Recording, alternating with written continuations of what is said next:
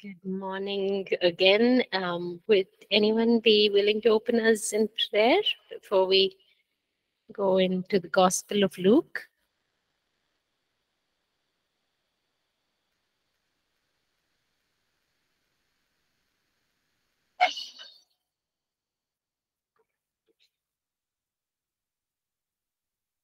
Uh, Let's pray. He- Heavenly, hello. Let's Okay.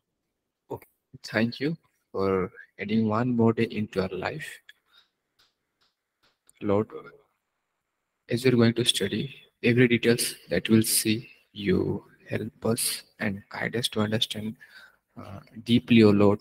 So you be our guider, you be our teacher, uh, Lord. In every words that we, there is your hidden things, Lord. Help us to reach out to till that hidden things and Lord, let us be filled with your words and with your wisdoms, Lord. This class I'm submitting to your hand. In Jesus' name I pray. Amen. Thank you. Um, so let's go in. Um, I think we uh, we we had stopped at Luke 9. I've just posted the names for Luke 10 onwards. Um, so we can go ahead and continue looking through the outline of the Gospel of Luke. Um, Daniel, I think you posted here. Would you like to share? Uh, would you like to unmute and share?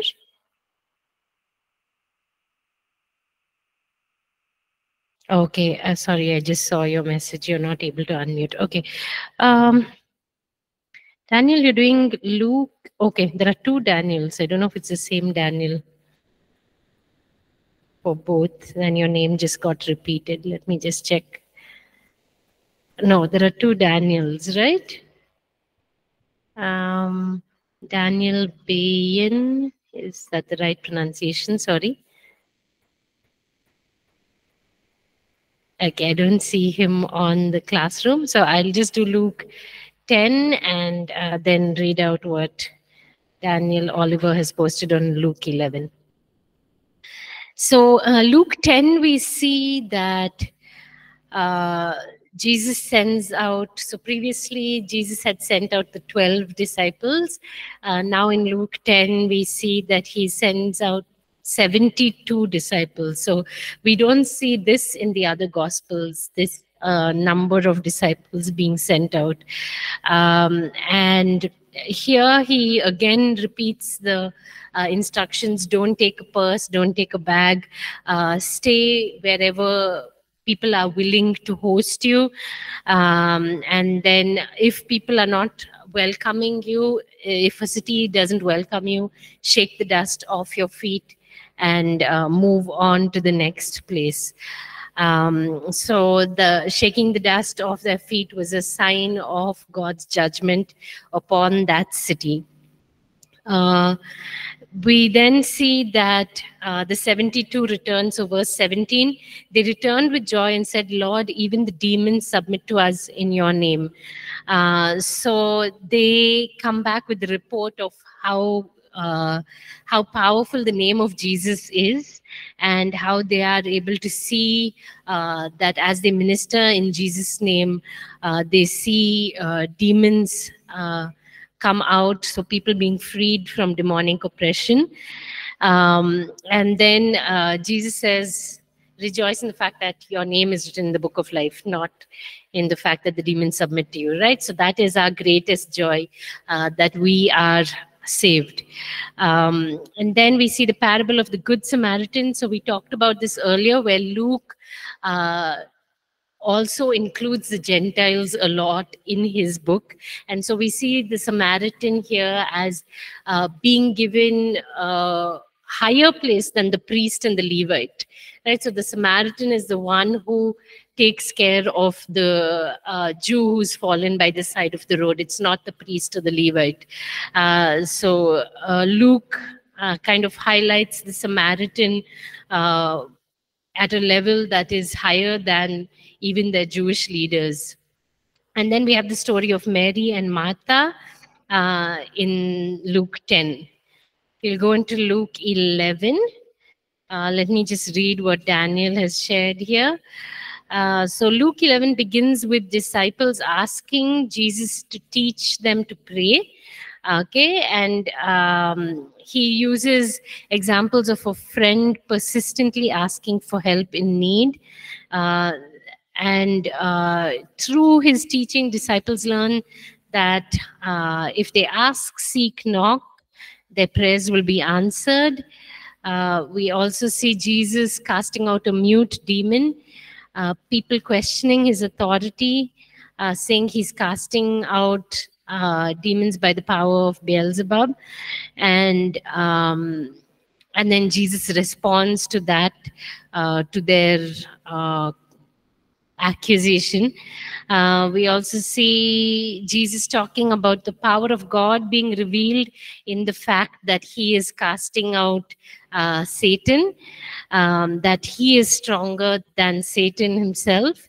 Um, he says that those who are not with him are against the word of God. The one who hears and keeps the word of God is blessed. Um, then Jesus uh, is invited to the house of a Pharisee. Uh, and in while he's there, he uh, talks about the Pharisees being uh, washed on the outside, but not on the inside, not being clean on the inside. Um, and then he also talks about looking for places of honor. Uh, that uh, the Pharisees look for a place of honor, but uh, but they shouldn't do that because uh, when they're doing that, they are uh, seeking a place of honor for themselves. Rather, they should uh, go to a place uh, that is when they're sitting down at a banquet, go to a place that is more humble and let the person who's invited them uh, move them to a place of greater honor. So those who are uh, who assume a place of humility will be the ones who are honored, and the ones who try to honor themselves will be the ones who are humbled. Uh, from there, let's go to Luke 12. Um, Diksha's doing Luke 12. Okay.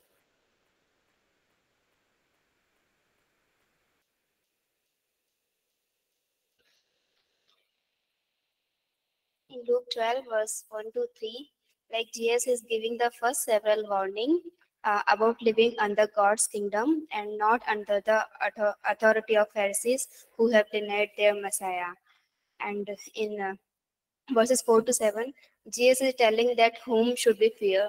He is telling we we don't we don't we do not need to fear to man but we should fear god. Because man can destroy only our body but uh, god has all power to cast into hell. So we should we should fear god only.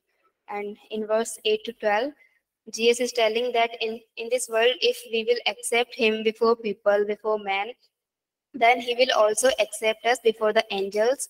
Uh, because sometimes it happens like because of any authoritative people or authoritative man we deny jesus that we do not we do not know jesus and we do not follow him. But as peter, peter also did uh, he denied three times. Uh, so as uh, like because whenever situations will come like this so jesus is telling holy spirit will guide us and holy spirit will teach us what we have to say. So we should not fear and we do not worry all these things. And verse 13 to 21 jesus is telling that we should not be covetous or greedy. Like god will give us uh, god will give us exceedingly and abundantly according to our need. It is fine but we should not be we should not we should not be rely on money or any uncertain things uh, because if we will gather money or rely on money only and uh, if next day we don't have a physical life then what we will do that money? It's only no use of that. And it, in verse 22 to 31 here jesus is telling do not worry for anything. Just rely on god. Keep trust in god. Because if we will worry even then we cannot do anything. Like if we are worrying for something we it's not in our hand we cannot do anything. And one time i heard i remember in joyce Meyer, she was telling if we are worrying like uh, it's somewhere it's coming is equal to uh, pride. Because we are worrying so we are thinking somehow we can manage and somehow we can handle and we are not putting in god we are not keeping trust in god. So he's telling we should not worry and all these things just Thank you. Uh, thank you. So Luke 13, uh, Deepu, are you ready to share? Ah, yes, ma'am. Yeah, Gospel of Luke, chapter 13.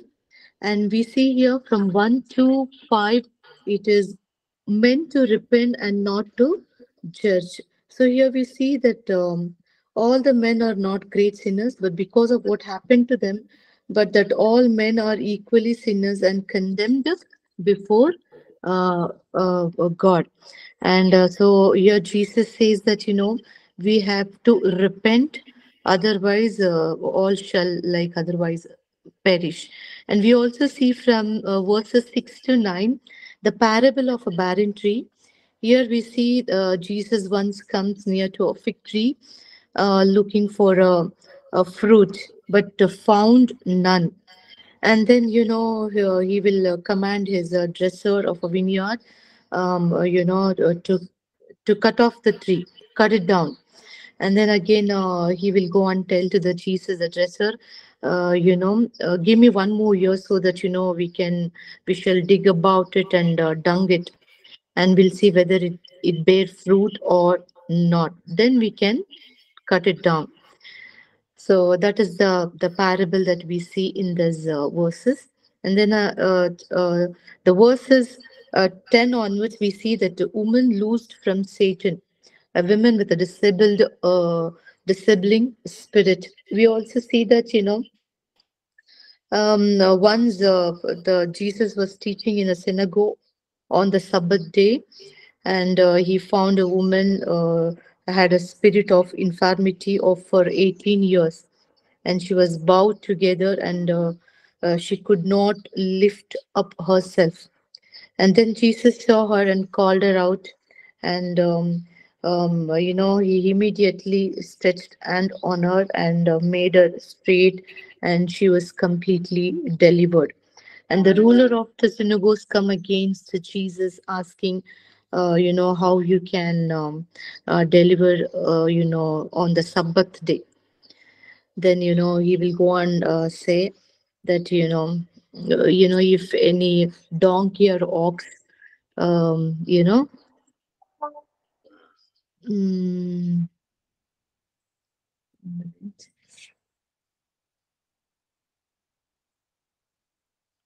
I think that's verse 15, Luke 13, 15. Mm, so yeah, yeah. Yeah, then the Lord answered him, You hypocrites, does not each of you on the Sabbath untie his ox or his donkey from the uh, manager and lead it away to water it?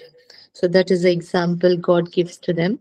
And uh, we also see from 18 to verses onwards uh, the parable of a mustard seed. We see that uh, what is the kingdom of God like? Um, uh, whereunto shall I uh, resemble it? It is like a grain of mustard seed which a man took and cast into his garden, and it grew and waxed a great tree, and the flows of the air uh, lodged in the branches of it. And we also see from uh, verses 20 onwards uh, the parable of leaven. Mhm. And uh, we see from um, verses 22 onwards warning against mere profession. Uh, from 22 to 27, then uh, we also see from uh, 28 onwards the result of mere profession. Uh, 28 to 33, and then we see from 34 onwards, uh, Jesus weeps over Jerusalem, uh, predicts its uh, overthrow. Thank you. Thank you. Thank you, sister. Uh, verse, uh, chapter 14, Divya.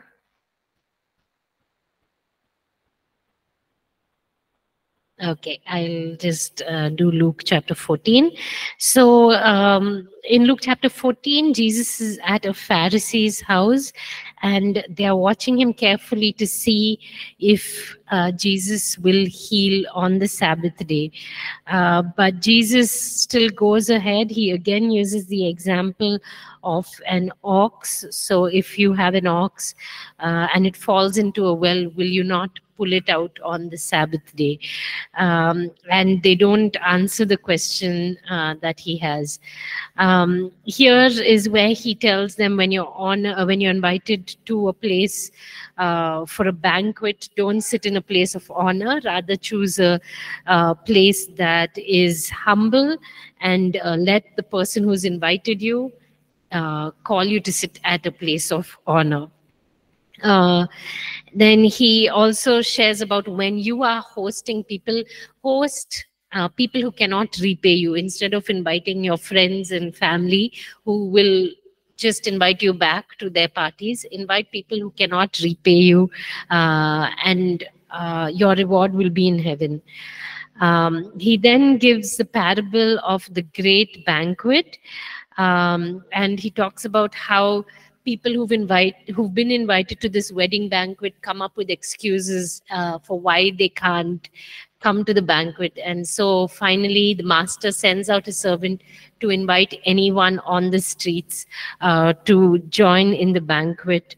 Um, and those who the original invitation went to are rejected because they've rejected the invitation to be part of it. So that is a judgment on the jews specifically because um, the call to the kingdom went out to the Jews first, uh, but because they rejected it, it then goes out to the Gentiles and uh, goes out to anyone who's willing to receive the gospel. Um, Jesus then talks about the cost of being a disciple. So to take up a cross and follow him. Um, and uh, he said he talks about counting the cost right so before we decide to follow christ counting the cost uh, and making a decision knowing about the sacrifice that it's going to uh, require of us. So we do not make a decision to build a house without first considering the cost of building the house. Uh, we make sure that that project will be completed. So in the same way, when we are uh, deciding to follow Christ, uh, are we considering the cost of following him and then making that decision? Uh, so jesus doesn't um, invite people uh, showing himself or the kingdom as something that will satisfy uh, and be a comfortable situation for everyone he very clearly presents the call to discipleship as one of sacrifice and suffering uh, we see that in Luke 14. Um, Luke 15, uh, do we, I don't know if we, Dr. Buyunza is not on call. Um, so Luke 15 is the parable of the lost sheep. So this whole um, chapter is on people who are lost being found. So we have the lost sheep, the lost coin, uh, the uh, the prodigal son. Uh, these three parables where Jesus is talking about the rejoicing in heaven over uh, someone who's lost being found and being welcomed back. Uh, so um, he uses these three examples of the lost coin, the lost sheep, and the uh, prodigal son. Now, in all of these parables, he's actually going completely against the sentiments of the religious leaders uh, because they would not be able to identify with the importance of one coin being lost. They would not be able to identify with shepherds who've lost sheep because uh, shepherds were considered as uh, people who were lower in status um, and they would not be able to identify with the father who forgave his son who had dishonored him. Uh, in all of these parables, Jesus uh, is preaching something that is very um, very opposite to the religious leaders' ways of thinking. Uh, but in doing so, he's presenting the heart of the Father and he's also presenting the gospel to the outcasts of the society. So the poor the shepherds, uh, and those who are sinners, those who are uh, outsiders in the religious system. Um, Luke 16, I believe, uh, Elder Eric is not here. He posted on Google Classroom, but I don't think he answered the question there. Uh, so we look at Luke 16 as well. Um, Luke 16, we have the parable of the shrewd manager. So um, he's been mismanaging uh, the money of his master, and the master sees that he's doing this, and so he uh, basically is going to let him go from his role as manager. But before he is let go of, he calls all the debtors and cuts down their debts by half uh, so that he has friends once he's let go of. And so uh, Jesus uses this example to say, uh, use your world, use worldly wisdom to your advantage, right? So the world knows how to use money to gain friends for themselves. Uh, but uh, people of the people who follow him or people of the kingdom uh, sometimes we can be too simple in our thinking. We don't think shrewdly. We don't think uh, in ways that uh, that are advantageous ways that we can use uh, our monetary wealth uh, to gain things for ourselves. And so he's uh, commending the manager for using his wealth to gain earthly friends, uh, to gain advantage here on earth. And he says, use your wealth in this way. Don't uh, don't try and store up all your wealth. Use it so that uh, it can actually bear eternal benefit. This manager uses it for his own benefit, but you use your money for eternal benefit. Um, some other teachings are on divorce. Uh, so uh, teaching against adultery then the parable of the rich man and lazarus uh, where the rich man is judged for not taking care of the poor so we see here in luke that continued theme of uh, care for the poor uh, the heart for the poor, which we talked about earlier, where uh, Luke is very concerned about the social outcasts. Um, Luke 17, uh, 17 and 18, I have, yeah, we have Esther Clement and Esther Shisha.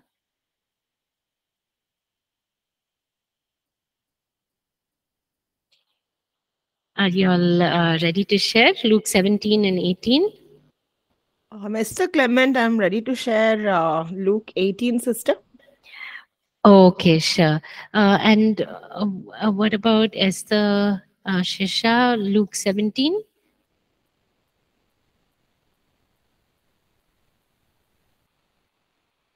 Okay, let me just, uh, we'll just do Luke 17 and then uh, Sister Esther Clement, you can do Luke 18. So Luke uh, 17, uh, it continues in Jesus's teaching. So he's teaching on um, on not being a stumbling block to people and the judgment uh, that would be uh, uh, that uh, someone who causes someone else to stumble would be under judgment. Um, then he talks about faith as small as a mustard seed. Uh, then we have the story of the 10 men healed of leprosy, and the only one who comes back to thank Jesus again is a Samaritan. Uh, so the only leper who comes back and worships Jesus after being healed is a Samaritan. Uh, Jesus then talks about the coming kingdom. Uh, and he says that uh, do not be led astray when somebody says that uh, they are the Messiah, because when the Son of Man returns, uh, everyone will know. He'll return and uh, it'll be something that is revealed to the whole world at the same time. So don't run after false messiahs. And then he talks about the signs of the end times. with that, we can go into Luke 18, Sister Esther Clement. Yes. Uh, uh, good morning, everyone. Like Sister has told in the summary of the entire book of Luke, there are three parables uh, with respect with regard to prayer. So in chapter 18, we see two parables uh, referring to the prayer and how we are supposed to pray. The first parable is that of an unjust uh, judge who neither feared God nor respected man. So even then, when a woman widow persisted, he uh, gave her the judgment. So verse 8 says that will not God defend more speedily? Uh, and uh, uh, if we ask Him and persist in prayers, and uh, He says, uh, very sad note here that, however, when the Son of Man comes, will He find the faith on the earth? So this is the takeaway for us from this parable that we need to be persistent in prayer and have faith that He is able to deliver us, defend us speedily. So coming to the second parable, which is also regarding prayer uh, uh, between the prayer of a Pharisee and a tax collector. Uh, the Pharisee was very uh, self righteous and he began uh, saying that uh, he is not like this tax collector, end up, ends up comparing that way. But however, the tax collector was asking God to forgive him of his sins. And Jesus said that the tax collector was the one who was justified. And he continues to say in verse 14 that one who exalts himself will be humbled, but he who humbles himself shall be exalted.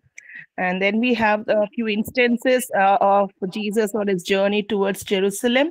Uh, the disciples do not allow the little children to come to him. So, uh, Jesus, uh, on the contrary to the disciples' expectations, he uh, says the welcome the kingdom of the, i say that in verse 17 whoever does not accept and receive and welcome the kingdom of god as a little child shall not in any way enter in it at all.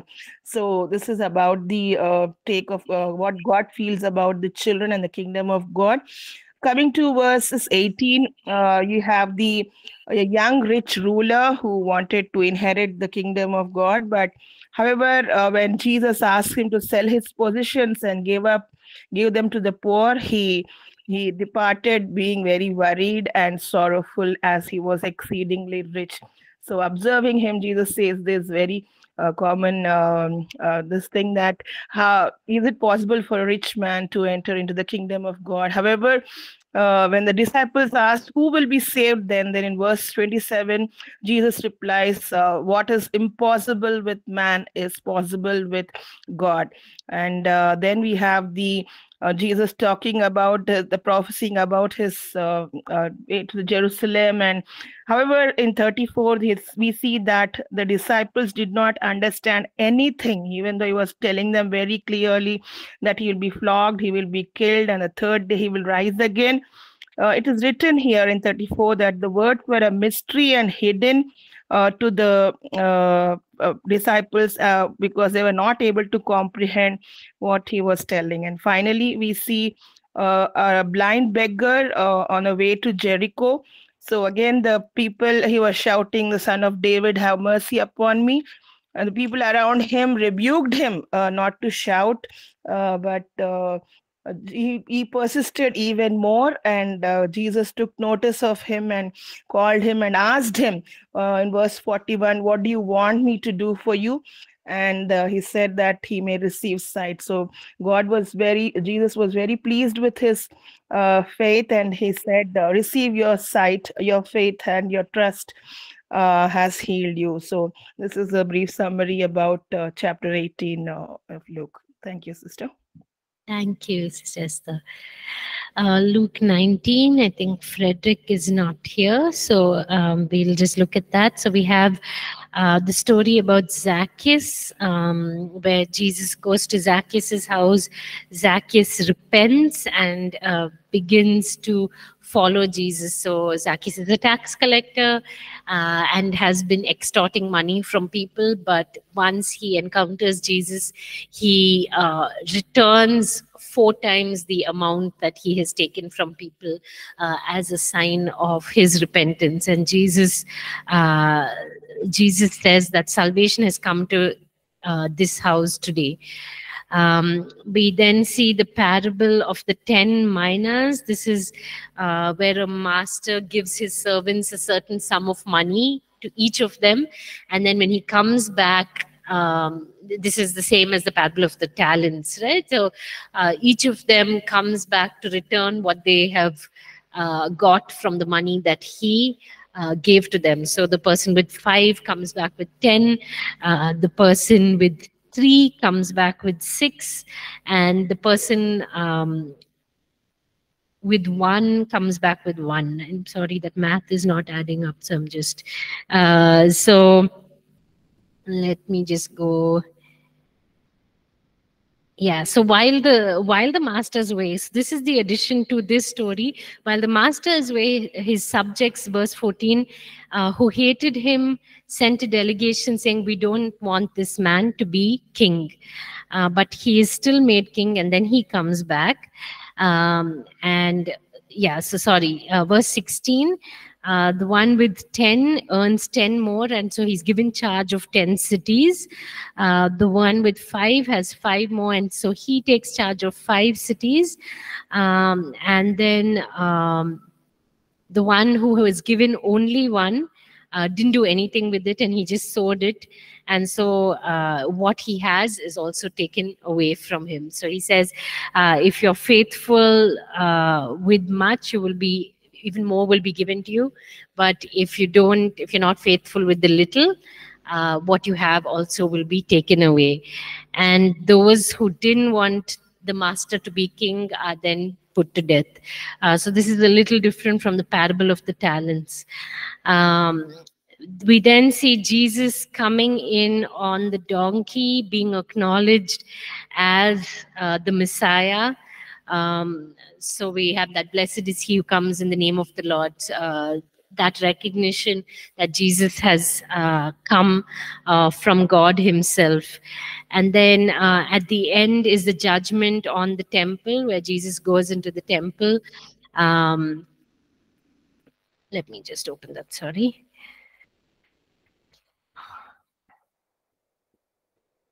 Uh, and he uh, sends out all those who are uh, selling things. He says, My house will be a house of prayer, but you have made it a den of robbers, quoting from the Old Testament.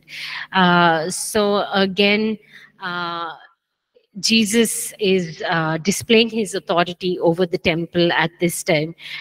Luke 20, Sister Gertrude, are you ready to share? Yes, sister. Okay, you can go ahead. Uh, Luke 20, in this chapter, we see that the leaders and the priests are seeking to accuse Jesus in many ways to destroy him, but Jesus triumphs over them because of his wisdom. Luke 20 to 21 to 8, here, because he drove all those who were who brought and sold in the temple, uh, he says that this is the house of my prayer. The chief priests and scribes confronted Jesus, asking what authority he was doing all things or who gave him authority. Luke 21 to 16, Jesus asked the baptism of John, was it from uh, God or was it from men? And replying them with a question, he explained that he he's uh, uh, he is the Messiah and exposes hypocrisy of the leaders. If John was from God, then he was right in proclaiming Jesus as a Messiah. And true to Jesus had all the authority. In response, he showed that they were not uh, sincere in seeking the truth. In Luke 9, uh, Luke uh, 29 to 16, parable of the tenant represent the religious leaders among the Jewish people. The parable tells us that God is the owner of the whole universe. He sent his uh, servants, that is the prophets in the Old Testament, and then he sent his son so that they will honor and respect him. But they killed the son so the inheritance would be theirs. This parable tells us that Jesus himself was the Son of God and he knew that he would be killed. Luke 20, 17 to 18, another parable, the stone which his builders rejected has become the chief cornerstone. Psalms 118, Jesus taught his disciples of the coming of Messiah to Jerusalem. The hostility of the Jewish leaders showed the messianic stone being rejected. Anyone who comes to Jesus will be broken of the pride and self will, but those who refuse to come will be crushed by Christ's judgment. And all the more they sought to destroy him. Luke 20, 21 to 26, Jesus tells to give back to the things of God and things to Caesar. The scribes and the priests try to make accusations against Jesus to the ruling government but cannot find fault in Jesus. Luke 20, 27 to 40. Jesus teaches about resurrection. The Sadducees do not believe in the resurrection and try to find fault in Jesus' teaching. But Jesus tells them that God is not the God of the dead but living, and the sons of the resurrection do not marry but are like angels. Luke 20, 41 to 40. Whose son is Christ? Jesus asked. How is it possible that David, who calls Christ Lord, and he is his son, asking their own question? Luke 20, 45 to 47. Jesus teaches his disciples to be aware of the scribes. Thank you. Uh, thank you, sister. So, uh, Luke 21, I don't think Igwe is here. Um, Luke 21, uh, Jesus looks at the widow's offering. So she puts in two coins versus all of the rich people who give just a little bit of what they have. She gives everything she has. And Jesus says she's given more uh, than all of the rich people had put in the uh, put in the temple uh, offering box. Um, and then the rest of Luke 21 is about the signs of the end times. Uh, Jesus uh, prepares his disciples for what to expect. Uh, so, for the wars that will come, for the persecution that they will face, uh, and uh, he calls them to remain faithful, to uh, stand on guard and be prepared, keep watch for his return. Luke 22 is Jairam. Yeah.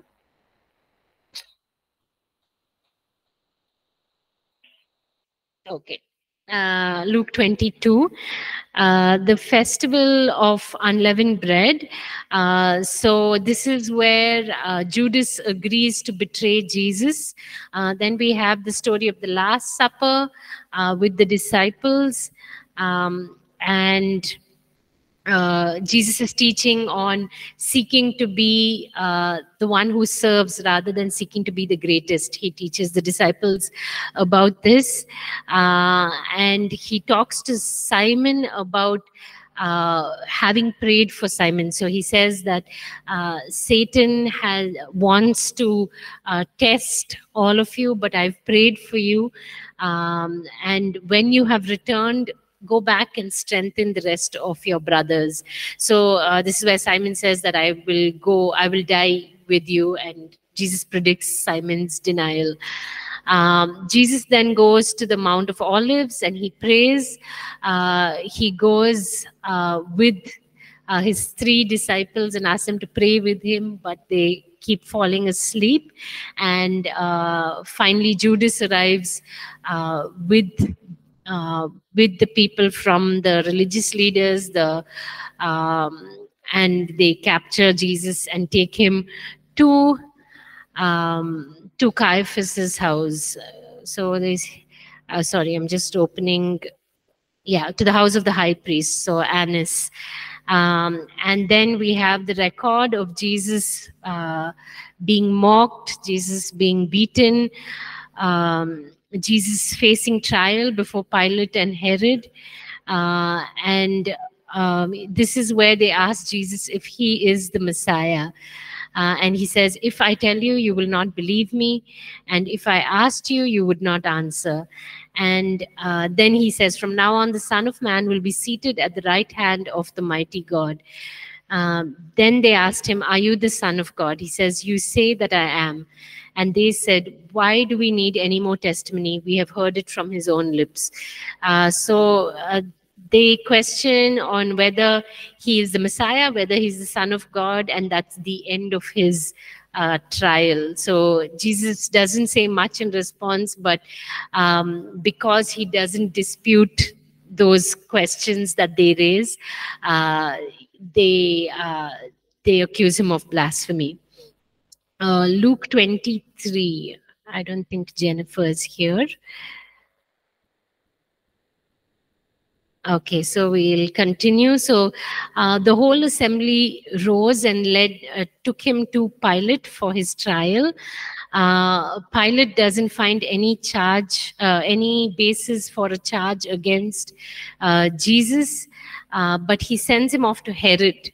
And Herod also mocks Jesus and sends him back. So it's recorded here that until this day, Herod and Pilate had been enemies, but they become friends on this day over this trial because they both um, they both uh, come to this place of mocking Jesus and uh, and finally sentencing him, um, although they don't find any basis for charges against him. Um, so Barabbas is released and Jesus is sentenced to be crucified. Um, and it says that uh, Pilate he tries to talk to the people and say we've not found any basis but he finally decides to go with what they are demanding that he be crucified. Um, then we have the record of simon of cyrene carrying the cross. Um, and we have the record of the death of jesus uh, here we uh, read about jesus being on the cross for three hours uh, the curtain of the temple being torn um, and uh, then we also read about Jesus's uh, committing himself into the Father's hands. Uh, the centurion recognizes Jesus as a righteous man, and then we have uh, the record of the women who were there at the cross, and the final burial of Jesus uh, by Joseph, who was a part of the council. So the uh, women follow Joseph to see where Jesus is uh, buried in the tomb, and then they leave. Uh, they leave there and uh, go back because it's the next day is the Sabbath. Uh, Luke twenty four.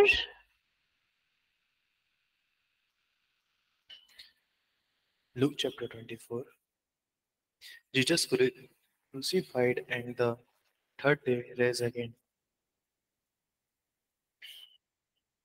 Verse 2 They found the stone rolled away from the spiritual. Verse 4 And it come to pass as the were such expected there about, behold, two men stood by them in sinning garments. Verse 6 He is not there, but is risen. Remember who is speak unto the wind. he was yet in Galilee. Verse 7 saying, The Son of Man must have been delivered into the hands of sinful men and be crucified, and the third day rise again. 8 And they remember his word. 23 And we had and we they found not his body. They come saying that they had also seen a vision of angel which said that he was alive. 26. Ought not Christ to have suffered these things and to enter into this glory? 34. Saying the Lord is risen indeed and hand apart to Simon. 36. And as they who spake Jesus himself stood in the midst of them and said unto them, Peace be unto you. 39.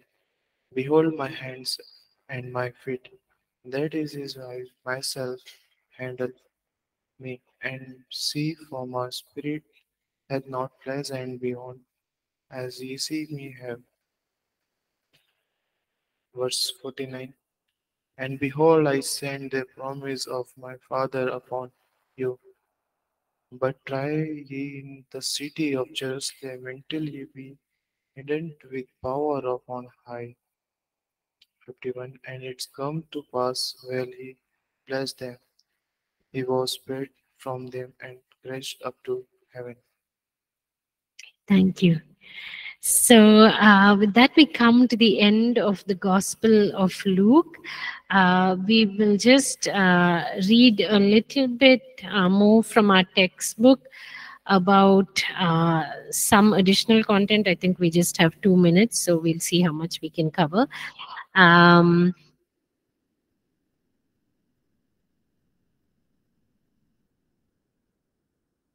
okay. Uh, so uh, Luke, uh, Luke's teaching on the Holy Spirit, uh, along with other teaching on the Holy Spirit in the New Testament, we see uh, that the Holy Spirit is one with the Father and the Son in the Trinity.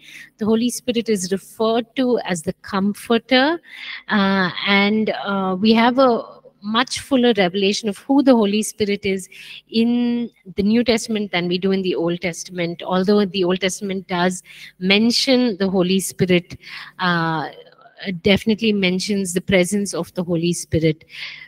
Uh, we see in uh, the Gospels the Holy Spirit at Jesus' conception and uh, the Holy Spirit as the one empowering Jesus' ministry, uh, especially in the Gospel of Luke, where uh, Luke is presenting the humanity of Christ. Uh, we see that the Holy Spirit is the one who enables Jesus to carry out all of the work. all of the ministry that is entrusted to him. Um, the Holy Spirit is also promised to the disciples as their source of power. Uh, and uh, for us today, the Holy Spirit leads us to understand, to obey God's will. Uh, the Holy Spirit gives us power over sin. Uh, the Holy Spirit uh, is uh, the one through whom we are in this new covenant. So we are in a covenant of uh, that is sealed by the Holy Spirit. Um, and we can respond to the Holy Spirit's prompting and we are transformed by the Holy Spirit. Uh, so we'll continue from there uh, on Monday and we'll uh, start with the Gospel of John as well. Thank you all.